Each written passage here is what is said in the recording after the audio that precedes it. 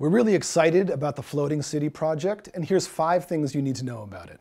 I'm Joe Quirk. I'm the author of the forthcoming Seasteading book with Patri Friedman, and I'm the spokesman for the Seasteading Institute.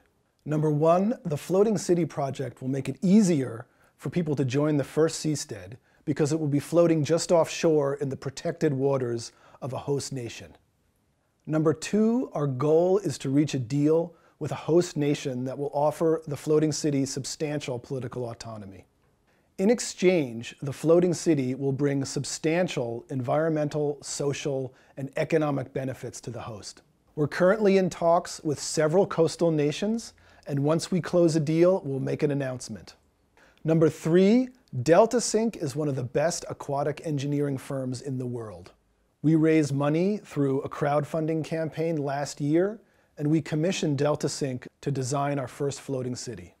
Using platforms shaped like squares or pentagons with 50 meter sides, the city can be rearranged according to the community's needs. The platforms will be constructed using reinforced concrete and will last more than a century. They will be environmentally friendly, using sustainable energy technologies which will be entirely off the grid. These floating eco-villages will contain three-story buildings.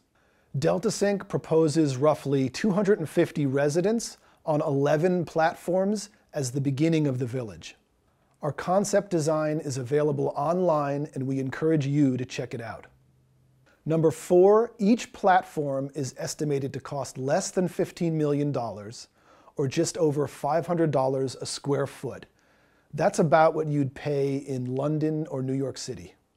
Number five, more than a thousand people have answered our survey in 2013 and expressed interest in moving to the first floating city.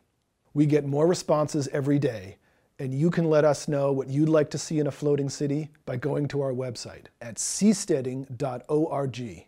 There you can learn more about the project, sign up for our newsletter, and maybe make a donation to our project. Thanks, and I hope to meet you on a seastead soon.